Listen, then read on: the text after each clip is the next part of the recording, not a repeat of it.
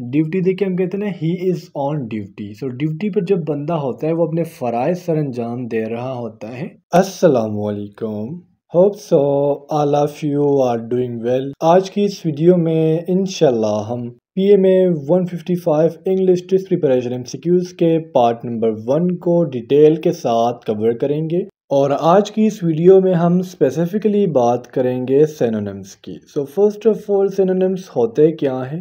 या इसे हम इंग्लिश में क्लोजेस्ट वर्ड्स भी कहते हैं।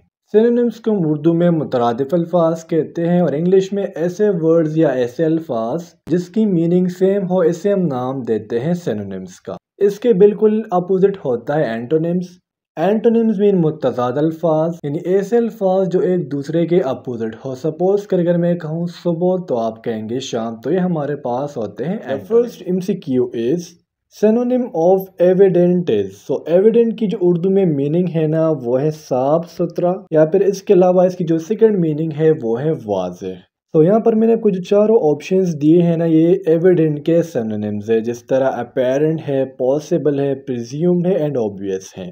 अब ये जो एम है ना, ये मैंने 154 पीएमए से पिक किए हुए हैं। और इसमें जो है आपका जो अपेरेंट है, ये बहुत ज़्यादा इम्पोर्टेंट है और साथ साथ जो आपका ऑब्वियस है ना, ये दोनों इंपॉर्टेंट है और इसके चांसेस है कि ये पेपर में आएँगे। MCQ number two is synonym of voyage so voyage होता क्या है? वोएज को हम सिंपली कहते हैं कि ये एक सफ़र है। या अगर इसकी हम असलाही मीनिंग की बात करें ना तो समंदरी सफ़र को हम ओएज का नाम देते हैं किस चीज़ में? इंग्लिश में। अब जितने भी यहाँ पर मैंने आपको दिए हैं ना ए से लेके ई तक ऑप्शन ये तमाम के तमाम ओ एच के क्या हैं? इसके सैनोनिम से अब इसमें जो आपके लिए इम्पोर्टेंट है ना, एक इसमें क्रूज़ ये बहुत इम्पोर्टेंट है। एक आपका जर्नी बहुत इम्पोर्टेंट है और साथ साथ जो आपका ट्रैक है, ये तीनों इम्पोर्टेंट है। आपने अपने पेपर के लिए कौन कौन से याद रखने हैं? क्रूज़ ट्रैवल और ट्रैक और साथ साथ journey MCQ number three is synonym of excuse so हम कहते हैं ना मुझे एक्सक्यूज़ ना करो एक्सक्यूज़ नहीं करना। तो so, एक्सक्यूज़ का मतलब क्या होता है? एक्सक्यूज़ को हम सिंपली उर्दू में कहते हैं छोड़ना या सिंपली किसी चीज़ पर माजरत करना। अगर आप किसी को कहें ना मैं माजरत हुआ हूँ मैं एक्सक्यूज करता हूँ इस बात के लिए। तब एक्सक्यूज के लिए जितने भी सनोनिम्स है, उसमें जस्टिफाई है डिफेंड है एक्सप्लेन है रेशनलाइज है एंड अपोलोजाइज फॉर है। इसमें आपने जिसको याद रखना है, एक इसमें आपने जस्टिफाई को याद रखना है, और साथ साथ जो अपोलोजाइज फॉर है ना, ये दो बहुत इंपॉर्टेंट है, और इनशाला इसी से पेपर में आएँगे। Q number four is closest meaning of tenure is so देखे क्लोजेस्ट सेनोनिम या फिर सेम वर्ड्स इन तीनों के मतलब क्या है, कि क्या है? ये सेनोनिम्स है, यानी हम मुआनी अल्फाज हैं। अब यहाँ पर अगर हम टेन्योर की बात करें ना सो टेन्योर का मतलब होता है कब्ज़ा करना ओके और यहाँ पर ये जो सेनोनिम्स है ना, इसमें आपने एक याद करना है स्टैंड को और साथ साथ स्ट्रेच को। ये बहुत इंपॉर्टेंट है। MCQ number five is same word for leisure is so leisure का मतलब क्या होता है? लीजर सिंपली उर्दू में कहते हैं किसी काम से फुर्सत मिल जाना या ऐसे बैठना, फजूल बैठना। अब ये जितने भी ऑप्शंस दिए गए हैं ना, जिस तरह रिलैक्सेशन है स्पेयर टाइम है आइडल आवर्स है फ्री टाइम है या फिर स्पेयर मोमेंट्स है, ये तमाम क्या है तमाम लीजर के क्या है, इसके सैनोनिम्स है। अब इसमें आपने जिन सैनोनिम्स को याद रखना है, एक इसमें है फ्री टाइम साथ साथ रिलैक्सेशन और स्पेयर टाइम ये जो तीन है, ये बहुत ज़्यादा important MCQ number six is synonym of spawn is अब स्पॉन की उर्दू में जो मीनिंग है ना, वो है टोकर मारना ओके इसको इंग्लिश में क्या नाम देते हैं? स्पॉन का। अब यहाँ पर जो आपने याद रखने हैं स्पॉन के लिए सेनोनिम्स उसमें एक आपने रिजेक्ट रिफ्यूज़ और डिक्लाइन ये जो तीन है ना A B C it is very important synonyms of spawn. MCQ number seven is synonyms for juvenile is so juvenile का मतलब होता है न उम्र, ठीक है? यानी छोटा बच्चा जो अभी बालग ना हो।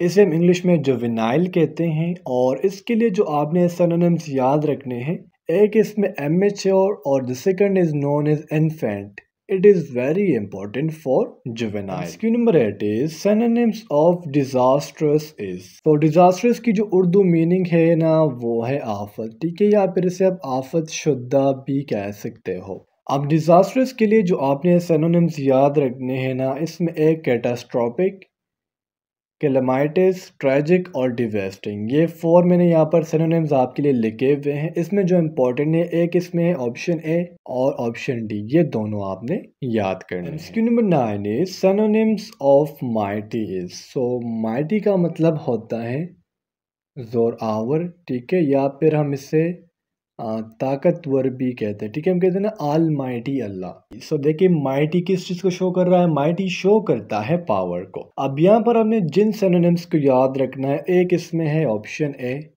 इस तरह ऑप्शन सी और ऑप्शन डी ये तीनों ऑप्शन आपने लाजमी से याद रखने हैं। कौन कौन से? Fearsome dominant and potent number ten is synonyms of fertile so fertile तो आप लोग जानते हाँ, इसको हम सिंपली कहते हैं ना जरहेज। आप कहते हैं ना, ये एक फर्टाइल ज़मीन है फर्टाइल अर्थ है। अब यहाँ पर देखिए, चारों बहुत ज़्यादा इंपॉर्टेंट है जो मैंने यहाँ पर दिए हुए हैं, लेकिन इसमें the most important one is reproductive यानी ऑप्शन ए आपने याद रखना है। और इसके अलावा ऑप्शन सी यानी जो जनरेटिव है ना, ये बहुत इंपॉर्टेंट है। MCQ number eleven is synonym of conceal so conceal simply हम कहते हैं ना, छुपा हुआ। एक चीज़ हमें नज़र नहीं आ रही सो इसके लिए हम इंग्लिश में कौन सा वर्ड यूज़ करेंगे? वो हम यूज़ करेंगे कॉन्सील का। कॉन्सील के लिए जो आपने सेनोनिम्स याद रखने हैं, एक इसमें है हाइड यानी ऑप्शन ए आपने याद रखना है। इसके अलावा जो ऑप्शन ई e है ना कीप आउट ऑफ़ साइट ये दो बहुत इंपॉर्टेंट है।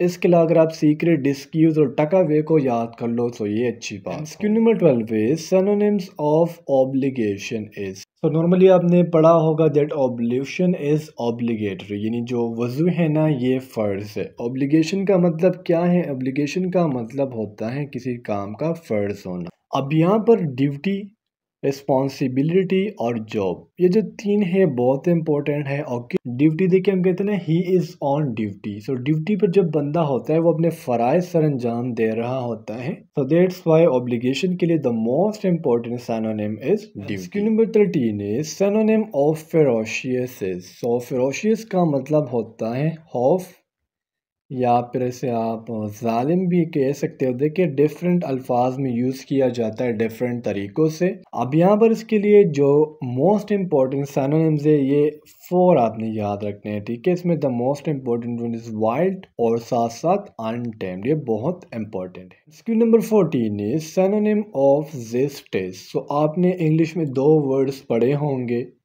एक होता है जिस्ट और the second one is known as jeer ये दोनों शो करते हैं हब्बुल वतनी को। और यहाँ पर आपने जो याद रखने, एक इसमें आपने दशियाज़म याद रखना है, ठीक है? सेकंड आपने इसके लिए झील जो वर्ड है, ये याद रखना है। Number fifteen is synonyms of differences और डिफरेंस तो आप लोग जानते होंगे, मुख्तलिफ़। या इससे आप जो है अख्तिलाफ़ात की मीनिंग भी जो है वो ले सकते हैं ओके और डिफरेंस के लिए जो आपने सैनोनिम्स याद रखने, एक इसमें आपने कंट्रास्ट और the second one is known as variation students ये थे आप लोगों के P M A one fifty five long course के इंग्लिश के सनोनिम्स के इंपॉर्टेंट एमसीक्यूज इंशाल्लाह नेक्स्ट वीडियो में मिलते हैं। अल्लाह हाफिज़।